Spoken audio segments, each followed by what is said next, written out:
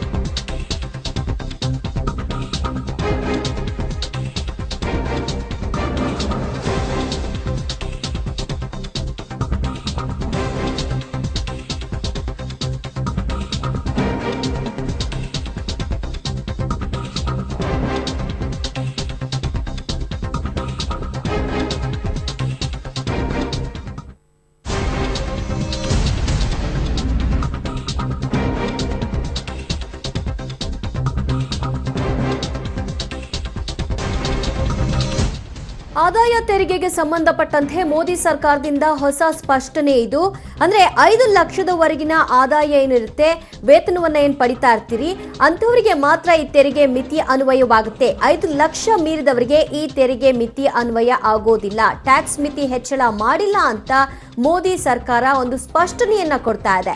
ಆದಾಯ ತೆರಿಗೆ ಸಂಬಂಧಪಟ್ಟಂತೆ ಸಿಗ್ತಾ ಇರುವಂತಹ ಮೋದಿ ಸರ್ಕಾರದ ಹೊಸ ಸ್ಪಷ್ಟನೆ ಇದು. ಐದು ಐದು ಲಕ್ಷದ ವರೆಗೆ ವೇತನವನ್ನು ಯಾರು ಪಡಿತಾ ಇರ್ತಾರೆ, ಅವರಿಗೆ ಮಾತ್ರ ಈ ತೆರಿಗೆ ಮಿತಿಯಲ್ಲಿ ಅನ್ವಯ ವಿನಾಯಿತಿ ಸಿಗುತ್ತೆ. ಉಳಿದಂತೆ ಐದು ಲಕ್ಷ ಮೀರಿದಂತೆ ವೇತನವನ್ನ ಪಡೆಯೋರಿಗೆ ಇದರಲ್ಲಿ ಯಾವುದೇ ವಿನಾಯಿತಿ ಸಿಗೋದಿಲ್ಲ.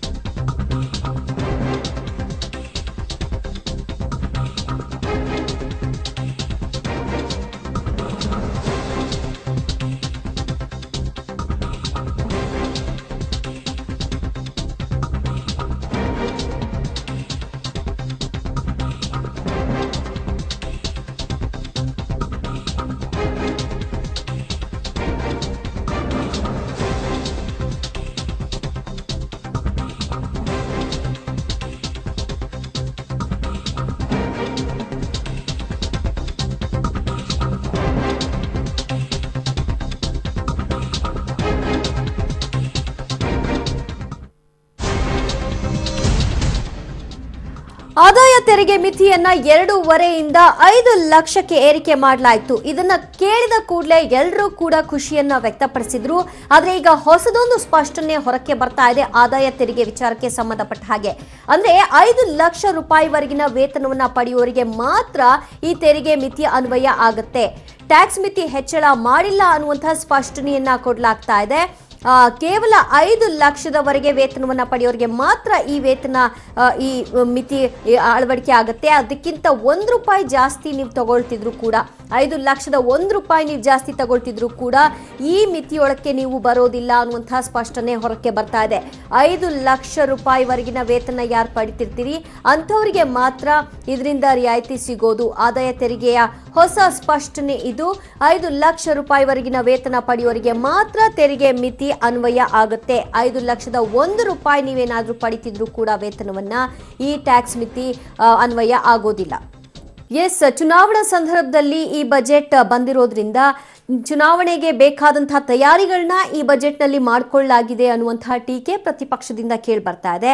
ಆದರೆ ಬಿಜೆಪಿಗರು ಇದೊಂದು ಐತಿಹಾಸಿಕ ಬಜೆಟ್ ಅಂತ ಮಂಡಿಸ್ತಾ ಇದ್ದಾರೆ. ಹಲವು ವಿಚಾರಗಳಲ್ಲಿ ಎಲ್ಲರಿಗೂ ಕೂಡ ಅನುಕೂಲವಾಗುವಂತಹ ಒಂದು ಬಜೆಟ್ ಇದಾಗಿದೆ ಅಂತ ಬಿಜೆಪಿ ಹೇಳ್ತಾ ಇದ್ರೆ, ಇದು ಮೂಗಿಗೆ ತುಪ್ಪ ಸವರುವಂತಹ ಒಂದು ಪ್ರಯತ್ನ ಆಗ್ತಾ ಇದೆ ಅಂತ ಕಾಂಗ್ರೆಸ್ ಟೀಕಿಸ್ತಾ ಇದೆ. ಕಳೆದ ಐದು ಐದು ವರ್ಷಗಳಲ್ಲಿ ನಿಮ್ಮನ್ನ ನಂಬಿದಕ್ಕೆ ಕೇವಲ ರೈತರಿಗೆ ನೀವು ಒಂದು ಬಿಡಿಗಾಸನ್ನ ಕೊಡ್ತಾ ಇದ್ದೀರಿ. ಇದು ಯಾವುದಕ್ಕೂ ಕೂಡ ಸಾಲೋದಿಲ್ಲ. ಅಂದ್ರೆ ಚುನಾವಣಾ ಸಂದರ್ಭದಲ್ಲಿ ಹಣವನ್ನ ನೀವು ಹಾಕ್ಲಿಕ್ಕಾಗಲ್ಲ ಅಂತ ಈ ತರ ನೀವು ಅಕೌಂಟ್ಗೆ ನೇರವಾಗಿ ದುಡ್ಡನ್ನ ಹಾಕ್ತಾ ಇದ್ದೀರಿ ಅಂತ ಕೂಡ ಟೀಕಿಸಲಾಗ್ತಾ ಇದೆ.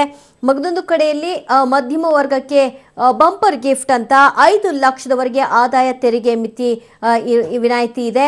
ಆದಾಯ ತೆರಿಗೆ ಮಿತಿ ಎರಡೂವರೆ ಲಕ್ಷದವರೆಗೆ ಇತ್ತು. ಈಗ ಐದು ಲಕ್ಷಕ್ಕೆ ಏರಿಕೆ ಮಾಡಿದೆ. ನೀವು ಐದು ಲಕ್ಷದ ಒಂದು ರೂಪಾಯಿ ತಗೊಂಡ್ರು ಕೂಡ ನೀವು ಈ ಒಂದು ಮಿತಿಯೊಳಕ್ಕೆ ಬರೋದಿಲ್ಲ. ಇನ್ನು ಆದಾಯ ತೆರಿಗೆಯ ಹಿಂದೆಷ್ಟಿತ್ತು ಹಿಂದೆ ಎಷ್ಟಿತ್ತು, ಈಗ ಎಷ್ಟಿತ್ತು ಅನ್ನುವಂತಹ ಲೆಕ್ಕಾಚಾರಗಳು ನಿಮ್ಮೆಲ್ಲರಿಗೂ ಗೊತ್ತಿದೆ. ಬಜೆಟ್ನಲ್ಲಿ ಸಿಕ್ಕಿದ್ದೇನು ಅನ್ನೋದನ್ನ ಒಂದ್ಸರಿ ಅವಲೋಕನ ಮಾಡೋದಾದ್ರೆ ಹದಿನೈದು ಸಾವಿರ ರೂಪಾಯಿ ವೇತನ ಪಡೆಯುವಂತಹವರಿಗೆ ಒಂದು ಪ್ರಾಫಿಟ್ ಬೆನಿಫಿಟ್ಗಳು ಇದೆ. ನಿವೃತ್ತಿಯ ಬಳಿಕ ಮಾಸಿಕ ಮೂರು ಸಾವಿರ ರೂಪಾಯಿ ಪಿಂಚಣಿಯನ್ನ ಘೋಷಣೆ ಮಾಡಲಾಗಿದೆ. ಸಣ್ಣ ಕೈಗಾರಿಕೆಗಳಿಗೆ ಒಂದು ಕೋಟಿ ರೂಪಾಯಿಯಷ್ಟು ಸಾಲದ ಮೇಲೆ ಶೇಕಡ ಎರಡರಷ್ಟು ಬಡ್ಡಿ ವಿನಾಯಿತಿಯನ್ನ ಕೊಡಲಾಗಿದ್ದು ಆದಾಯ ತೆರಿಗೆಯಲ್ಲಿ ಯಾವುದೇ ಬದಲಾವಣೆ ಇಲ್ಲ ಅಂತ ಕೂಡ ಹೇಳಿದೆ.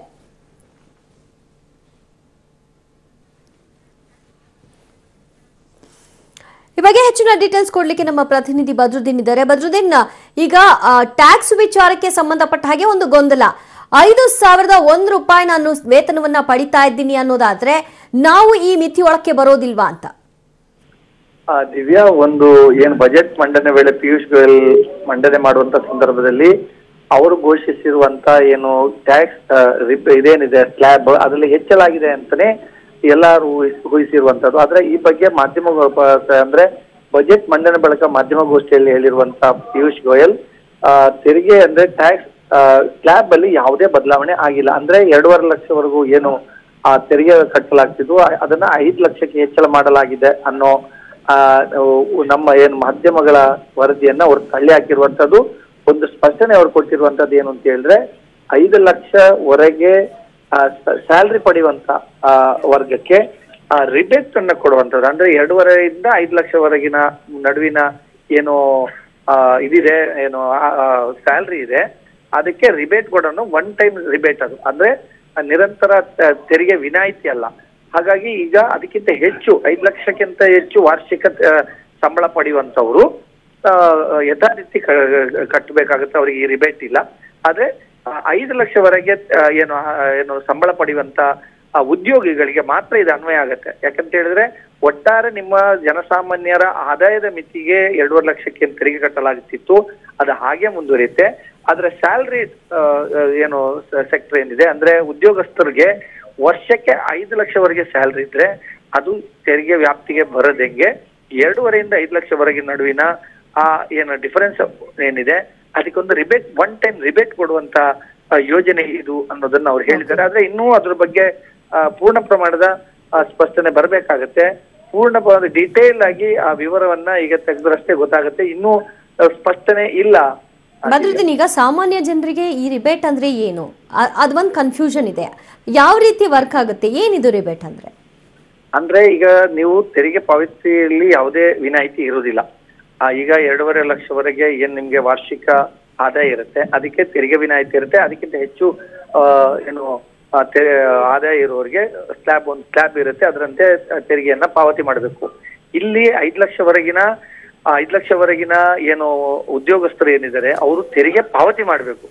ಆದ್ರೆ ಅದಕ್ಕೆ ರಿಬೇಟ್ ಅಂತ ಹೇಳಿ ಒಂದಷ್ಟು ಮರು ಮರುಪ ಏನಾದ್ರೆ, ಹಣವನ್ನ ವಾಪಸ್ ಕೊಡುವಂತ ಒಂದು ಯೋಜನೆ ಇದೆ. ಅಂದ್ರೆ ನೀವು ತೆರಿಗೆ ವ್ಯಾಪ್ತಿಗೆ ಬಂದಿರ್ತೀರಾ, ನೀವು ತೆರಿಗೆ ಕಟ್ಟಲೇಬೇಕಾಗತ್ತೆ ನಿಮ್ಗೆ ತೆರಿಗೆ ವಿನಾಯಿತಿ ಇರೋದಿಲ್ಲ.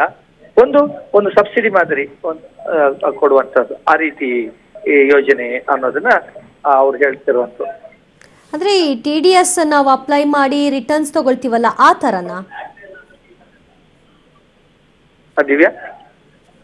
T D S apply ಮಾಡಿ ಈಗ ರಿಟರ್ನ್ ನಾವು ತಗೊಳ್ತೀವಲ್ಲ ಆ ತರನ ಇದು ಹಾಗಿದ್ರೆ. ಆ ತರ ಆ ತರ ಆ ತರ ರಿಬೇಟ್ ಕೊಡುವಂತದ್ದು ಅದನ್ನೊಂದು ಒಂದು ಒಂದು ಒಂದು ಸಬ್ಸಿಡಿ ಕೊಟ್ಟಂಗೆ ಕೊಡುವಂತ ಯೋಜನೆ ಅನ್ನೋದನ್ನ ಅವ್ರು ಹೇಳಿರುವಂತದ್ದು. Divya okay yes thank you ಭದ್ರತೆ ನಿಮ್ಮೆಲ್ಲ ಮಾಹಿತಿಗೆ.